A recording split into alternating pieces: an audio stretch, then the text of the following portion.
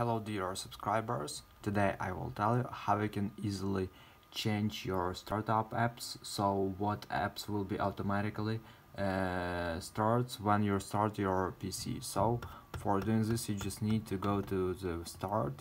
Just tap on the settings. And here you need to find apps. And in the apps you need to find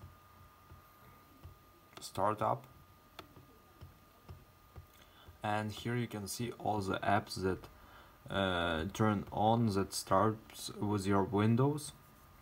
So if you want to turn it off for example Microsoft OneDrive. So just tap to off and now it will uh, successfully turn off it.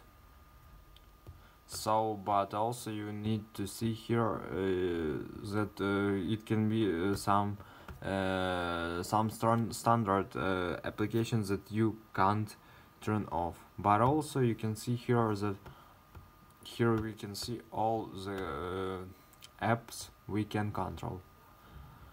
So this is the way how you can do it. So thanks for watching. Have a nice day. Subscribe to my channel. Click like and goodbye